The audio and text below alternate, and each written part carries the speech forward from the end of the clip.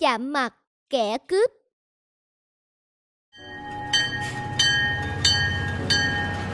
Lần này về quê gặp ba mẹ. Anh nhớ nói như đã bàn để ba mẹ đỡ đau lòng nhé. Ừ anh biết rồi. Quý khách lên chuyến tàu S02 Xin mời xếp hàng ở cửa số 12 để lên tàu.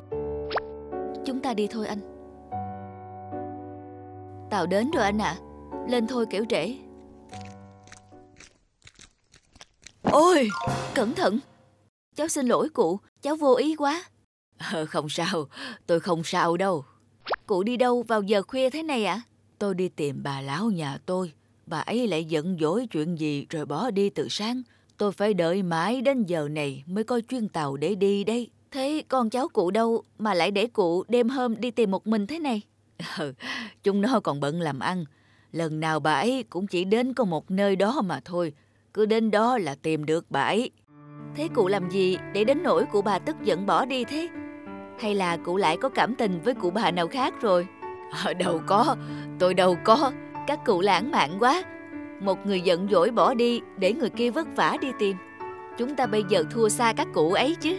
Thế hai vợ chồng đi đâu vậy? Chúng cháu, chúng cháu về thăm ba mẹ thôi à. Ừ, ba mẹ ở xa, lúc nào cũng mong nhớ con cháu nhiều lắm. Dạ, bọn cháu biết rồi ạ. À. Tàu S02 đã vào bến Hành khách thu xếp hành lý, chuẩn bị xuống tàu.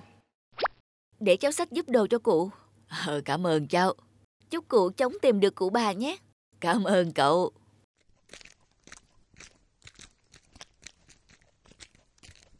Cảm ơn các cháu nhé. Tới đây được rồi, tôi tự đi được. Cụ có đi một mình được không? Hay là để cháu đưa cụ đến đó?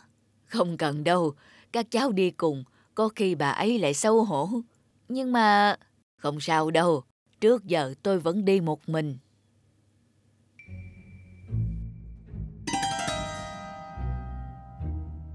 Em à, nãy giờ anh thấy có kẻ khả nghi cứ nhìn theo ông cụ.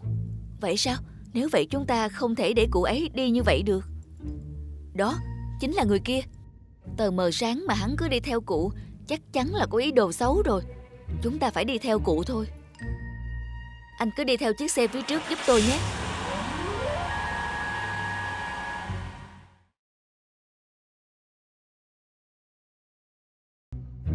Hắn vẫn đang bám theo cụ.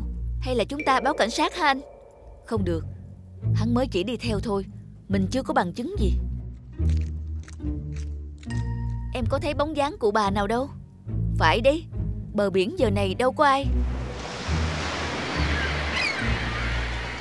Vẫn không có ai cả Nguy rồi Dừng lại Không được lại gần cũ. Hai người là ai Tại sao cứ bám theo ông tôi? Ừ, sao? Ông cụ đó là ông của cậu? Đúng vậy, lúc ở trên tàu, tôi tưởng hai người tốt bụng nên giúp đỡ ông tôi. Nhưng sau đó hai người cứ bám theo ông tôi, có ý đồ gì đây? Chúng tôi đưa cụ xuống ga tàu, rồi phát hiện cậu cứ lén lút bám theo sau cụ. Chúng tôi nghi ngờ cậu có ý đồ xấu, nên phải đi theo cụ để đảm bảo cụ không gặp vấn đề gì. Ờ, thì ra là vậy, tôi hiểu rồi. Tôi là cháu của cụ, anh chỉ có thể xem qua tấm ảnh này của gia đình tôi. Nếu vậy sao cậu không đi cùng cụ Mà phải lén lút thế? Ông không cho chúng tôi đi cùng. Ông luôn nói muốn có thời gian với bà tôi. Vì vậy tôi mới phải âm thầm theo sau ông như vậy. Phải rồi. Tôi không thấy cụ bà ở đâu cả Bà tôi mất lâu rồi Mấy năm gần đây ông tôi bắt đầu bị lẫn Ông luôn nghĩ rằng bà vẫn ở bên cạnh ông đây là nơi ông và bà tôi gặp nhau lần đầu tiên. Mỗi khi cuộc hôn nhân của họ gặp trắc trở, họ lại tìm đến đây để nhớ về lý do họ bắt đầu. Chính vì vậy mà trong tiềm thức, ông tôi luôn nhớ về nơi này. Thì ra là vậy, tình cảm hai cụ dành cho nhau thật thiêng liêng biết bao. Em à, liệu chúng ta có thể suy nghĩ lại để cho nhau thêm một cơ hội nữa không em?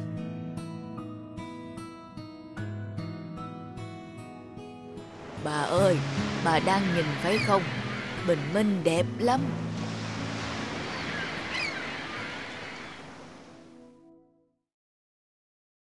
Cành hoa cuối năm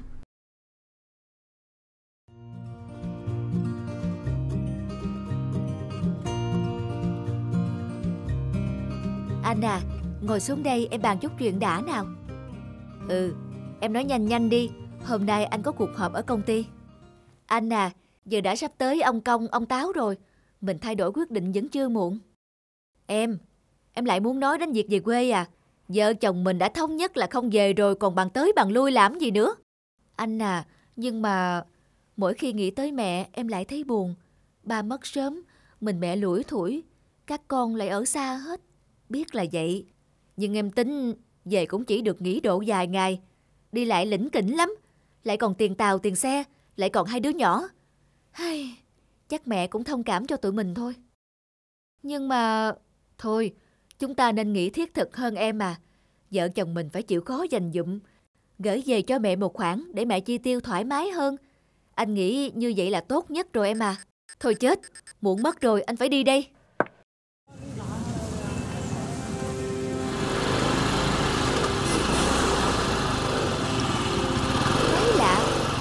Cứ dằn như hít hơi ấy. Trời ơi, ngày gì mà xui xẻo thế không biết. Phải dắt xe thế này thì kịp hợp thế nào được.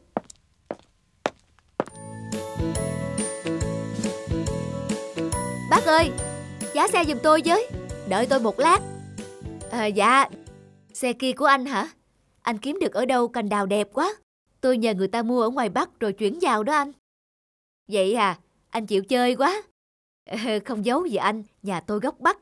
Vào đây làm ăn đã lâu, cũng ít có dịp về thăm quê. Mẹ tôi đó, bà nhớ quê cha đất tổ lắm, nên năm nào cũng phải sắm đào.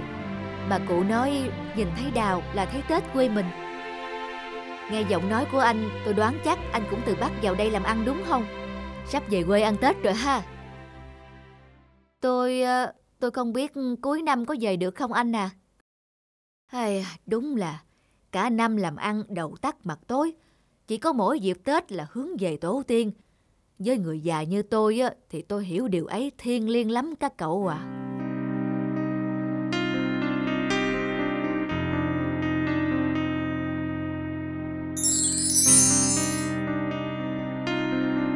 Tại sao mẹ lại bứt những lá đào này đi thế ạ? Mẹ bứt đi để cuối năm đào sẽ ra nhiều hoa con à. Vậy ạ? À? Vậy sao Tết lại có nhiều hoa đào hả mẹ? À, đó là loài hoa biểu trưng cho sự ấm áp, ngọt ngào là sứ giả của mùa xuân đó con.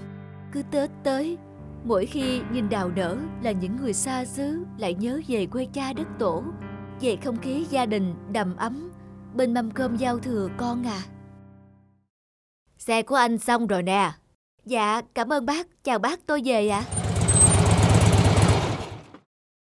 Nhà cậu ta trong xóm kia, mấy năm trước, cậu ta chữa mắt cho mẹ già, cũng gần hết cả gia sản, mà nào có ăn thua gì. Mặc dù bà mẹ mù loà, nhưng năm nào cậu ta cũng mua đào Tết để mẹ được hưởng không khí Tết quê hương. Đúng là con người ta, đôi khi sống ở đời, cái tinh thần quan trọng lắm cậu à. Cậu làm sao vậy? Xe sửa xong rồi nè. Dạ, cảm ơn bác. Con gửi tiền. Thôi, con chào bác. Em, em ơi.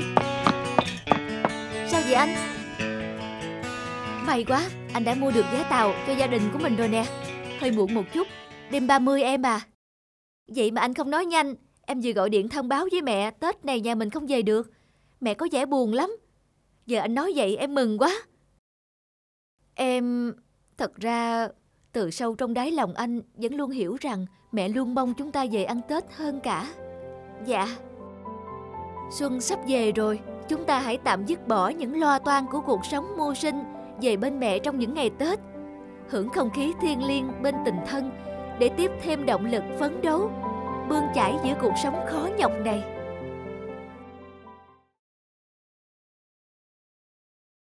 Người chồng vô tâm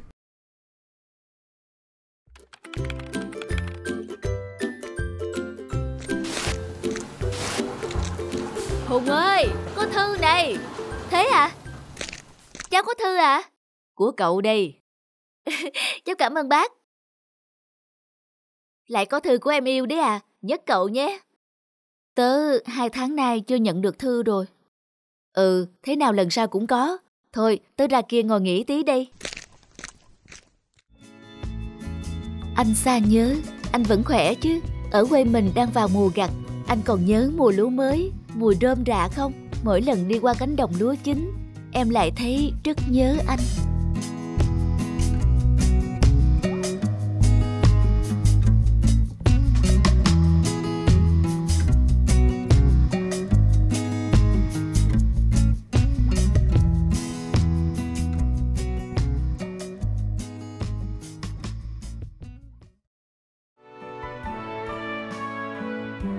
Vậy là cuối cùng chúng mình cũng đã được gần nhau. Tốn mất không biết bao nhiêu giấy bút viết thư của người ta. Đây, anh cất giữ nguyên cả, đâu có sót lá thư nào. Đọc đi đọc lại đến mòn cả chữ rồi chứ bộ. Thì em cũng vậy, lát nữa cho bỏ chung vào đây cả nha. Vậy thì đây chắc chắn là tài sản quý giá nhất của vợ chồng mình. Đúng vậy, tài sản quý giá nhất.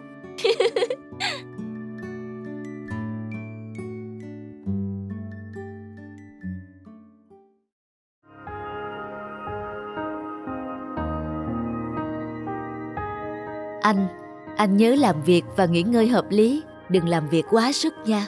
Sang bên đó thời tiết lạnh, anh nhớ phải cẩn thận, giữ gìn sức khỏe anh nhé. Alo, anh à, em đã chuẩn bị xong hết quần áo cho anh chưa? Sắp tới giờ anh phải ra sân bay rồi, kế hoạch gấp lắm, anh không kịp về qua nhà đâu. em đã chuẩn bị xong hết rồi, em mang qua công ty cho anh bây giờ đi. Anh chờ em 10 phút nữa nha. Được, nhanh lên nhé.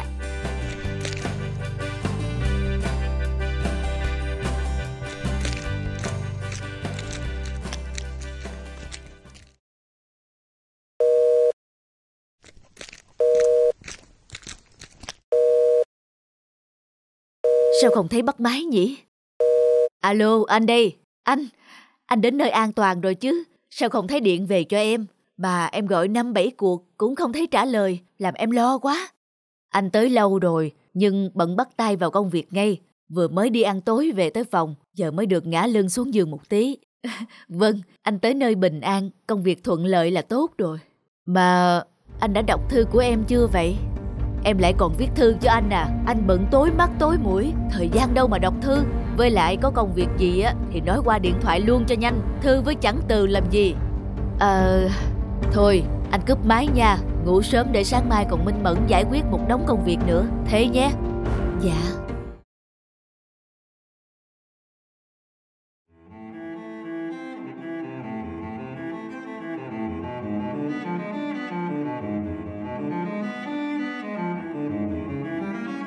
Vậy là cuối cùng chúng mình cũng đã được gần nhau. Tốn mất không biết bao nhiêu giấy bút viết thư của người ta. Đây, anh cất giữ nguyên cả. Đâu có sót lá thư nào. Đọc đi đọc lại đến mòn cả chữ rồi chứ bộ.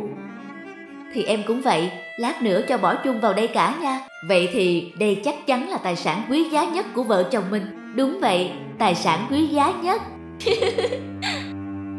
Em lại còn viết thư cho anh à. Anh bận tối mắt tối mũi. Thời gian đâu mà đọc thư? Với lại có công việc gì á Thì nói qua điện thoại luôn cho nhanh. Thư với chẳng từ làm gì?